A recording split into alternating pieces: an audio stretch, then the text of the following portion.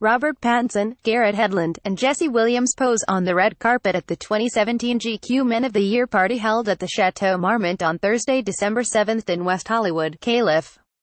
There were lots of hot guys in attendance at the party, including Suicide Squad's Jai Courtney with girlfriend Mecki Dent, Insecure's Jay Ellis, Limitless Jake McDorman, Star Trek's Zachary Quinto's Empire's Jussie Smollett, New Girl's Lamorne Morris, and Detroit's Laz Alonso.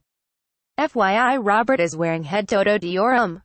Zachary is wearing head Toto Salvatore Ferragamo. 20 pictures inside of celebs at the party. Photos Getty posted to Garrett Hedlund, Jai Courtney, Jake McDorman, Jay Ellis, Jesse Williams, Jussie Smollett, Lamorne Morris, Laz Alonso, Mecki Dent, Robert Pattinson, Zachary Quinto.